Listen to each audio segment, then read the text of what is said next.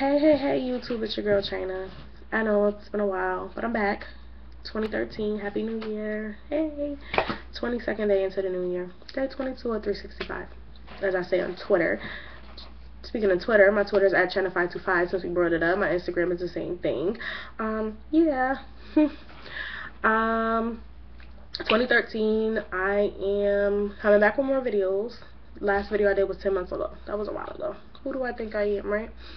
Um, but you have to stick with me and if I ask you for topics and things like that you guys have to help me do them so I can come back with more videos. But for the most part I have it together now the topics that I want to talk about for the the, the beginning part of 2013 um, some things that's rolling over from 2012 and things that obviously I didn't get to talk about in 2012 because I took that hiatus um, I'm, I am writing a book. I've been writing a book since 2004 actually, but I want to get it published and finished for this this year. That's like on my bucket list. Um, it's a very interesting book. I started writing it in high school, and a lot of people who went to high school with me had the opportunity to read the book, and I was starting to say, read the first couple lines. Five minutes would pass and it would still be reading it. Why are you still reading the book? Oh, it was so good. I couldn't put it down. You know, I couldn't stop reading. And I knew I had a hit once I heard that. If y'all ask you to read one line of my book and you're still reading it, that means it's, it's an interesting book. Um, I had some people bookmarked in the book. I was reading the book to them. Everything. It was, it was, it's like one of one of my biggest accomplishments that I have to date, and I'm excited, and I want to really get it finished and pushed and out there. Um, it's it's a good book. I actually don't read any books at this current moment because I don't want to steal any ideas from any authors. Zane, the Fifty Shades of Grey lady, I don't want to steal anybody's ideas, so at this moment I'm not reading anything. Um, I think everybody gives me ideas because people lives are crazy, and because I'm living it with them, like you know, I'm this is my world. So whatever I know or hear or anything I experience through my friends, hello, book you go, you know.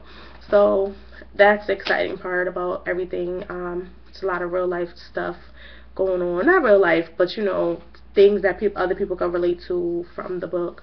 Um, so I'm definitely happy to get that out there and get it started and finished. Well, started, but to get it finished and pushed and done. Um, my YouTube videos are gonna get crazy since I'm the Wendy Williams in New Haven, I gotta get it poppin'. Wendy Williams hears stuff, she repeat it, she push it back out there for the world. I I don't know if I do that, cause yeah, I don't even know who that girl was pregnant by. Mm, me neither though, so they're even, right? But if I knew, I still wouldn't go around blabbering my mouth. But that's what Wendy Williams does. So I got new things coming out. It's gonna be amazing, and I'm excited.